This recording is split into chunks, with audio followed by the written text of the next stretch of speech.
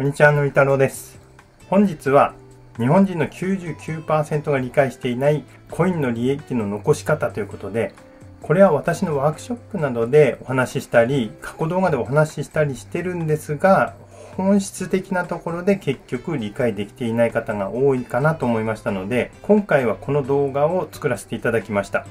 要はプライベートカンパニーの破壊力がいかに凄まじいのか、またコインで迂闊に利益を上げてしまった場合にいかに税金の破壊力が凄まじいのか、まあ、ここをしっかり理解しない限り、まあ、特にサラリーマンの方っていうのが自分にプライベートカンパニーが必要だと理解することが本当に難しいようです。ということで今回はサラリーマンの年収600万円の A 君と B 君という2人を想定して、えー同じ金貨を 6, 6年前に買って今年今売ったという想定でやってみたいと思います。で A 君も B 君も6年前に300万円大金をはたいて買ったコインを今委託販売で900万円で売ろうとしていると仮定します。で売る際は手数料がかかりますのでざっくり5%引いたとして45万円引いても利益としては555万円の利益になります。そして A 君と B 君の違いはまず A 君は普通のサラリーマンで副業などは特にやっておらず毎年確定申告もやったことがない。まあごく普通の年収600万円のサラリーマンという想定です。で一方 B 君も A 君と同じ年収600万円のごく普通のサラリーマンでしたが300万円でコインを買った時にまあ、6年前にですね、私のような、まあ、動画があればよかったんですが、そういった情報に触れて、コインを売る時のためにプライベートカンパニーを設立して、まあ、賃貸物件を会社名義などで借りたりして、役員社宅にしたり、あとは旅行の時はコインを買ったり、視察したりして、出張経費とか日当にしたり、あとは、そういう旅費規定なども整備して、毎年200万円の赤字、まあ、これはちょっと少ない想定ですけど200万円の赤字を作っていたとしましょう。で会社の赤字は10年繰り越せますので B 君は6年の累計で1200万円の赤字がある会社を持っていたとしましょう、まあ、この時点で勝負は見え見えてるんですが、まあ、先に進みたいと思います。そしていよいよ A 君と B 君のコインは同時に売れました。もちろん2人は大喜びです。臨時収入の555万円が、まあ、委託販売業者から銀行に振り込まれるわけです。ここで A 君は少し不安になります。あれ高額の臨時収入が入った時は確か確定申告が必要だと聞いたことがあるなということで、えーネットで調べてみると、まあ、このように書いてあります。金属などを売って売却益が出た場合は原則譲渡所得、まあ、資産の譲渡によって得られるもので臨時所得の一つという扱いになり他の所得と合算する総合課税の対象ですと。これ総合課税というのはなかなか恐ろしいんですがまあそうかそうかと、まあ、20万円を超える利益があるとやっぱり確定申告が必要なのかということでさらにこういろいろ調べていくとあっといい情報があります。そこには保有期間が5年を超える場合は課税対象となる所得を半分に減額することができると書いてあります。おお、やったということで A 君は金貨を5年を超えて所持しており買った際の領収書もしっかり取ってあったのでこれは良かったということで確定申告をすることにしました。まあまあ確定申告は絶対しなきゃいけないんですけど確定申告をすることにしたと。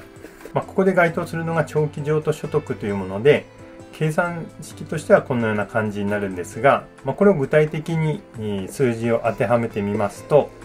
まず900万円で売れました。そこで、まあ、原価が300万円で45万円の手数料がかかりましたということで、555万円が利益に該当しますということですね。売却益になります。でその売却益から、まあ、50万円引いていいですよということで控除がありますのでそこから引いたものに対して2分の1つまり252万円が、まあ、課税所得というか、まあ、税の対象になる所得になるということになります。ということで長期保有で税金が半分になると喜んだものつかの間まあ先ほど説明した通り譲渡所得は総合課税ということで252万円という数字は A 君の給与収入の600万円と合算されてしまいまして A 君のこの年の年収は852万円ということで確定申告しなければならないことになったということです。それをどういうことかということで年収と税金の早見表というのがネットに落ちてましたのでそれで簡単にざっくり出しますと年収600万円の場合は所得税が20万円ぐらい住民税がだいたい30万社会保険料がだいたい90万ということで合計が139万8000円ということで、まあ、140万円ぐらいが税金ということになります。まあ、この税金の額も結構びっくりしますが、まあ、これが年収795万円となるとこうなります。まあ、あの正確には住民税っていうのは前年の年収を反映するので翌年の住民税がこうなるんですがまあ後々やってきますので分かりやすくいっぺんに計算するとこうなります。年収852万円ということで所得税が54万5千円住民税が48万6千円社会保険料が120万円ということで税金の合計が223万1000円ということになりますということで税金が83万3000円高くなるということでこれを得られた利益の555万円から差し引くと471万6000円ということになります。まあ、ざっくり555万円の利益から83万円税金で取られて472万円になってしまうということです。しかも先ほどご説明した通り、住民税は翌年に高くなるので、ま、2年間にわたってこうボディーブローのようにチクチクチクチク引かれると、給料から引かれるということになるわけです。せっかく良いコインを買って売って利益が出たのになんかとっても嫌な気分になるかと思います。ということで A 君はこんな感じでしたが B 君はどうだったでしょうか？?B 君も会社設立とかあとはその他の会社の維持にお金がかかっている分も計算してみようと思います。まあ、B 君の場合まず会社設立に7万円ほどで毎年の決算の報告があるんですが、まあ、私がちょっと実践しているようにまあ、ここにもあるんですが、えー、自分で、え、会計ソフトのマネーフォワードクラウド会計っていうのを使って決算時にはこの一人社長の経理の基本という本を見ながら決算をしたとしましょう。これを見ると、まあ、順を追って、えー、出す書類がこう、こんな感じで書類の書式なんかも載ってますし、どこにどういうふうに記載すればいいっていうのがわかるので、こう、クラウド会計と一緒にやると、簡単に自分で決算もできてしまいます。まあ、そうやってしっかり自分で手間をかけてやると、6年間の経費っていうのはこんな感じで、会社設立費が7万円。まあ、会計ソフトは月々3500円として4万2000円ぐらい。で、法人の均等割っていう法人税が毎年7万円かかります。で、6年間の合計が71万4000円ということで、先ほどと同じように555万円から71万円を引いたとすると、483万6000円ということで、ここであれと。ほら見ろ、のり太郎さん。さっきの A 君の472万円とそんなに変わらないじゃないかと思われた方は、ちょっと焦らないでください。ここが大きな誤解を生む箇所で、99%の日本人がここでほら見たことかと思考停止してしてしまっているのです。これは引っ掛け問題です。で、B 君の進化はここからです。ここで一つ質問なんですが、私の動画をご覧になっているコインコレクターの方で、コインを1枚しか持ってませんという方は、ぜひ挙手かコメントで教えてください。そうですね。コインが好きな方で、コインを6年間1枚しか持ってませんみたいな方は、稀というか、私は聞いたことがないです。まあ、つまり、B 君は毎年200万円の赤字を作ったとご説明しましたが、6年間合計で1200万円の赤字を持っているわけです。つまり、今回売却したコインの利益555万円を差し引いても、645万円の赤字がまだ残ってるわけです。もちろん今回550万円の利益のコインと同じようなコインをもう1枚売ったとしても必要な税金は0円。最初のコインも0円で2枚目売っても0円になるということです。でしかも毎年赤字が200万円近し蓄積していきます。一方 A 君が1枚目と同じようなコインをもし6年前に買って同じ年に売ってしまったとしたら、まあ、2枚売ったとしたら先ほどの、まあ、6年保持したとしても252万円が給与にさらに加算されるわけです。ということで A 君の年収はその年は一時的に1100万円になってしまいます。すると年収1100万円の場合は所得税が100万円住民税が72万円社会保険料が135万円ということで合計が309万7000円ということで税金の額が元の年収600万円の時の税金と比較して170万円も増えてしまいます。しかもこれは5年以上コインを保持していたから課税所得が半額になっただけで5年以下で売ってしまったら利益は丸々収入に加算されて税金が計算されてしまいます。これは本当に恐ろしいことだと思います。一方 A 君は会社の維持費用の毎年の法人税金と割7万円と会計ソフト4.2万円の、まあ、合計11.2万円程度でこの巨額の税金を無税にできるわけです。また副業で例えば月5万円ぐらい稼いで年間60万円ぐらい副収入があったとしてもそれ会社でやったとしたらもちろんこの赤字でだったら無税でいけます。しかも毎年赤字200万円という想定はかなり低めの想定で役員社宅っていうのを使っただけでも、まあ、例えば月10万円の家賃のところに住んでたとしてそれを9割会社負担という想定にしただけで年間108万円になりますのでこれ赤字108万円年間ですね。あとは携帯の通信費仕事に使っていると。あとは Wi-Fi 代。あとは水道光熱費なども会社負担にすることもできますし、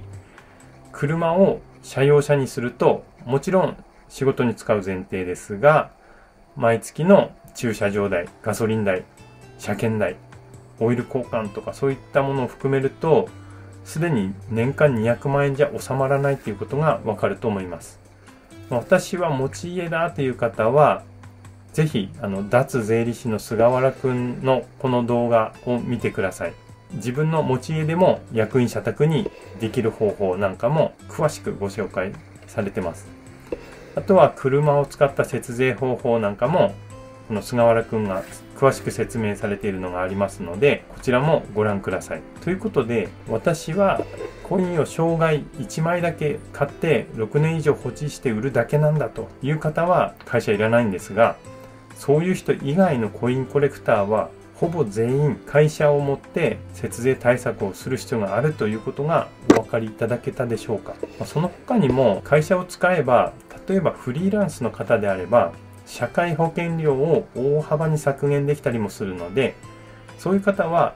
ぜひこちらの両学長のマイクロ法人スキームというお話もかなり面白いですし参考になりますのでご覧になってください。ということで会社設立が良いのは分かったけど会社設立の仕方とかあとはその後の経費の計上の仕方とか決算の方法なんかも全然分かんないよという方はぜひ私の法人設立サポートをご検討ください。そのあたりも詳しく説明しますし、実は私の法人設立サポートは普通の法人設立サポートは全然違いまして、会社設立の際の定款という、まあ、会社の説明書みたいなのがあるんですが、そちらに事業目的っていうのを入れるんですが、その際にもちょっとした裏技があったり、対面でしかお伝えできない裏技も満載だったりしますので、最終的には法人口座ですね、銀行口座の法人口座の設立までサポートさせていただきます。実は会社を作っても、この法人口座を開設できなくて悩んでいる方も多いんですが、こちらもサポートさせていただいております。あとは、一人社長の決算方法なども、ま、こういった本をご紹介したり、ちょっと細かいところもお伝えできますので、作成後も不安だという方にぴったりのサービスになってるかなと思いますので、ぜひご検討ください。ということで、最後、もう一つ告知ですが、前回の動画でもお話ししましたが、9月の18、19、20の3日間、品川プリンスホテルでプレミアムでレアな金貨の売り切り内覧会っていうのを実施しておりますので、ぜひ概要欄をチェックしてみてください。実際、18日ほとんど埋まってしまっておりますので、まあ、こちらの応募もお待ちしております。また実際に会場に来れないけど情報だけ教えてほしいという方のお問い合わせもお受けいたしますので、まあ、そちらもご連絡お待ちしております。ということで今回のお話は以上となります。最後までご視聴くださいましてありがとうございました。いつも動画